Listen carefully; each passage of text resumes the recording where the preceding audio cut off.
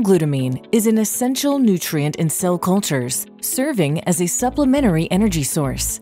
But did you know that L-glutamine spontaneously degrades in aqueous solutions, such as cell culture media, and decomposes into ammonia, a toxic byproduct that is dangerous for your precious cells? Gibco Glutamax supplement is an improved alternative formulation of the essential amino acid L-glutamine.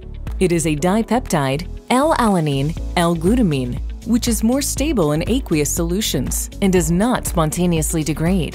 Glutamax keeps cells healthier for longer and can be used as a direct substitute for L-glutamine in cell culture media.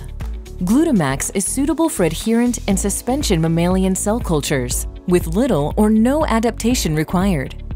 In addition to the standalone Glutamax supplement, we offer many media formulations in which the Glutamax dipeptide substitutes for L-glutamine.